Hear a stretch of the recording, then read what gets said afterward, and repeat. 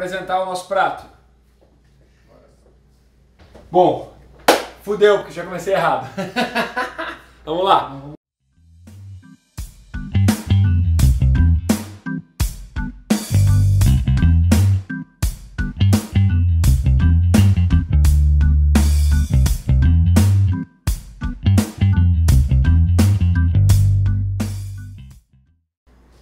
Legal ter você novamente aqui na minha cozinha, na minha escola. Hoje, prato muito especial, nós vamos aprender a fazer um hambúrguer com lentilha, lentilha tradicional e lentilha rosa. Vamos mostrar os ingredientes, um pouquinho do que, que você vai usar. Nós vamos utilizar então cebola, uma parte nós vamos refogar, uma parte vai direto na massa porque o hambúrguer ele vai ser assado. Cenoura ralada, a cenoura vai ajudar a dar liga tá? A cenoura vai ajudar a amarrar o hambúrguer. Vamos utilizar azeitona, ovo, vamos utilizar alho picado, já está aqui, e um diferencial legal é colocar um pouco de cebola roxa, tá? Isso vai dar um toquezinho muito bacana. E claro, temperos verdes, cheiro verde, essas coisas. A lentilha tradicional, que é a lentilha que nós conhecemos e mais utilizamos, mas perceba que eu cozinhei ela, eu fiz a lentilha coloquei ela no processo para cozinhar, mas não vou usar a água, a água já foi descartada. Na verdade, aqui eu cozinhei com pouca água, a ponto de poder nem precisar descartar a água. E essa é a outra lentilha aqui, ó. olha que legal, que é a lentilha rosa. Ela é bem laranjadinha quando você compra no mercado, ela é laranja, deixa de molho e cozinha bem pouco. Se cozinhar muito essa lentilha, ela vai virar uma papa. Ok, esta é a base. Nós vamos misturar as duas lentilhas aqui. Fazer para cá, para aquela câmera de lá poder pegar também. Ó, então nós vamos colocar aqui a base. E aí eu vou começar a parte do, de refogar. Vou usar uma frigideira aqui, uma panela tradicional, bem quente, então já vamos ligar.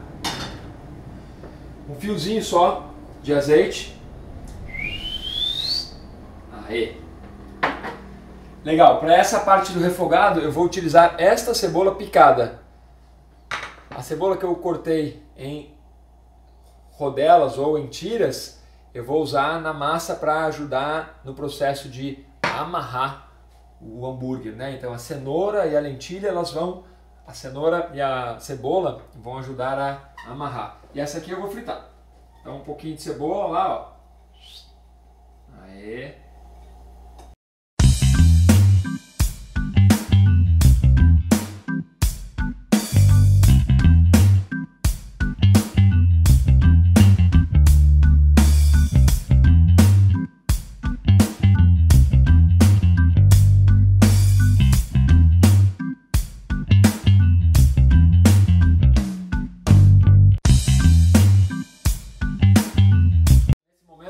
Vamos fazer o seguinte: vamos acrescentar os outros ingredientes para fazer a massa do hambúrguer. Então, o primeiro item que nós vamos acrescentar é a cebola. E bora lá, ó. cebola.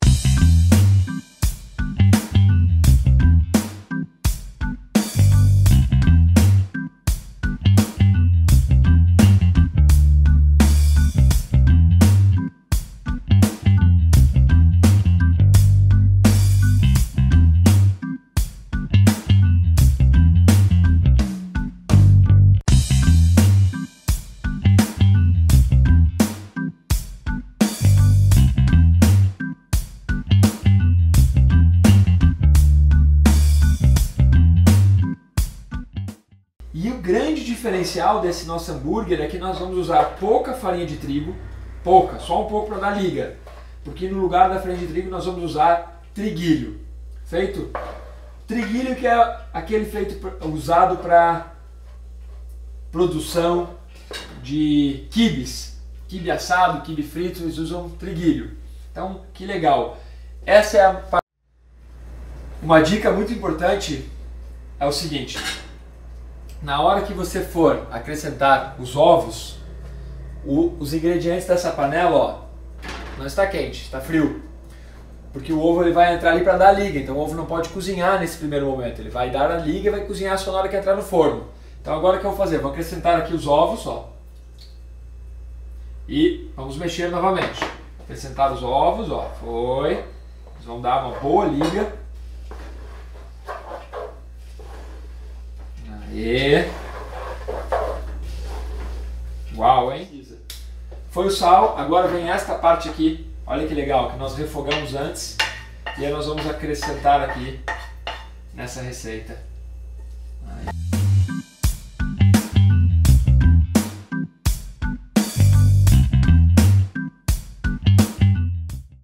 Estou aqui finalizando a parte do, do cheiro verde.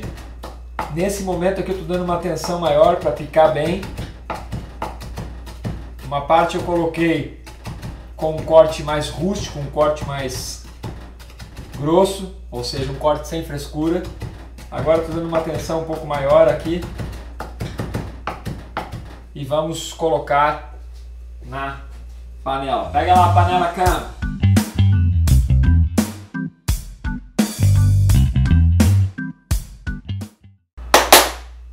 O negócio é o seguinte, a massa está pronta, está incrível, tá? além de tudo muito colorida, muito bonita. Nós vamos espalhar aqui na forma uns dois dedos de altura, porque quando cozinhar vai diminuir um pouco. Queremos mesmo fazer um hambúrguer mais altinho, então nós vamos espalhar e forno.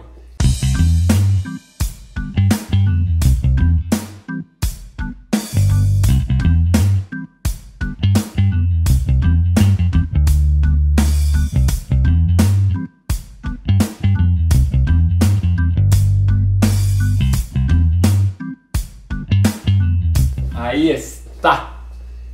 Vai para o forno e em breve nós vamos mostrar ele assadinho. O cheiro aqui já está incrível. Depois de assar, então. Bom, ficou no forno 20, 30 minutos. Vamos tirar e vamos montar os hambúrgueres agora. Olha isso. Fantastic. Está aí. Nosso hambúrguer. Que tal? Olha o cheirinho. Incrível! Olha como ele ficou alto. Olha como ele ficou colorido. Lentilha, cenoura, queijos e o aroma, o cheiro aqui. Tá duca.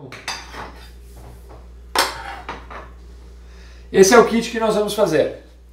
Vou congelar em pares de dois hambúrgueres. Até porque não existe par de três, né? Então nós vamos congelar em pares. A ideia é que ele fique bem caseiro, rústico, incrivelmente colorido, bonito e com. Olha como ficou. Olha isso, que incrível. Olha como ele ficou alto, tá? Agora o que nós vamos fazer? Nós vamos embalar. Como é que eu vou embalar ele? De uma maneira que eu gosto particularmente, que é assim. Eu tenho esses pacotinhos de servir hot dog, cachorro quente ou hambúrguer mesmo. E aí é legal porque eu faço assim. Eu coloco o hambúrguer dentro dessa maneira, ó. Feito. Então sobrou um espaço. E olha lá que prático. Eu dobro. Aqui eu já posso congelar direto. Mas para melhorar um pouco a aparência e, e até mesmo o, o odor dentro do congelador, que, que nós vamos fazer? Nós vamos enrolar no papel filme que você tem aí na sua casa. Temos um kit de dois hambúrgueres para você. Na hora que você descongelar ele, ele vai estar tá perfeitamente isolado. Você abre, separadinho, tira um ou tira dois, já está pronto. Então é só colocar no forno. Colocou no forno, só o tempo de descongelar e de esquentar, você coloca no forno um pedaço de mussarela em cima Enquanto isso, você abre o seu pão, maionese, ketchup, os condimentos que você gostar, alface, tomate e faz o seu super hambúrguer. Encerramos então o nosso programa de hoje, Comida de Verdade. Fica a dica, lembre-se, divulgue o nosso canal Comida de Verdade, assine o nosso canal e aproveite para treinar em casa e marque a nossa hashtag Comida de Verdade, canal MD.